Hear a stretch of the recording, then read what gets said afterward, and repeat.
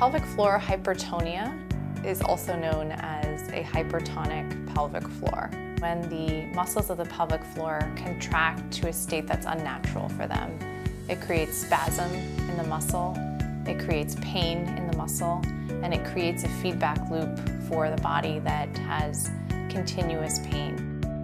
When the pelvic floor muscles are contracted in this spastic state, they also cut off a lot of the blood flow to the pelvic floor muscles and also create irritation and inflammation around the nerves in the pelvic floor.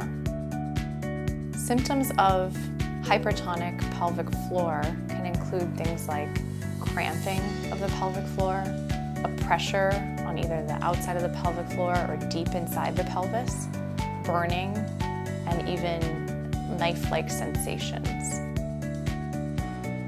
In male patients with a hypertonic pelvic floor, we can see any variety of symptoms that are related, including constipation or diarrhea. We can include things like testicular pain, tip of the penis pain, erectile dysfunction, or even pain with intercourse. In female patients, a hypertonic pelvic floor can be associated with pain with intercourse, urinary urgency, frequency or burning with urination, and it can also be associated with chronic constipation, diarrhea, or pain with bowel movements.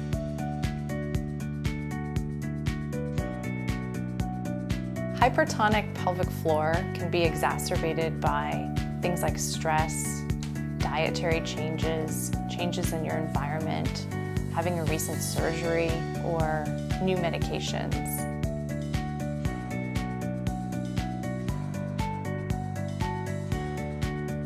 Hypertonic pelvic floor is usually something that's a chronic state. It didn't just happen overnight and it requires a number of treatments in order to decrease the hypertonicity. To treat this, we can also use trigger point injections and nerve hydrodissection. We have really good success with this.